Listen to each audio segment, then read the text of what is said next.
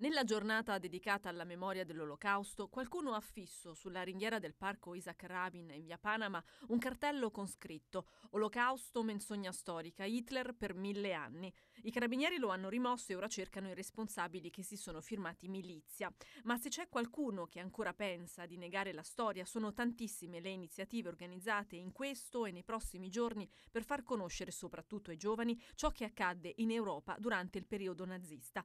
Questa mattina in via a Tempio di Giove, con una cerimonia e una targa, sono stati ricordati Aldo e Bixio Pergola, due dipendenti comunali licenziati a seguito delle leggi razziali e successivamente deportati ad Auschwitz. Alle 18 una fiaccolata ha sfilato da Piazza dell'Esquilino a Piazza degli Zingari per ricordare gli stermini dimenticati di rom, sinti e camminanti, ma anche di omosessuali e disabili.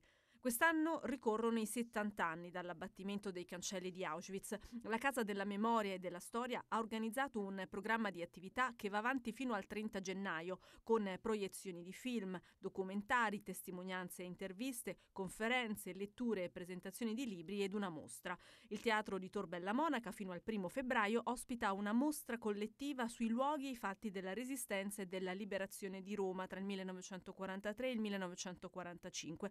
Nello stesso stesso teatro il 30 e il 31 lo spettacolo La versione di Slomo.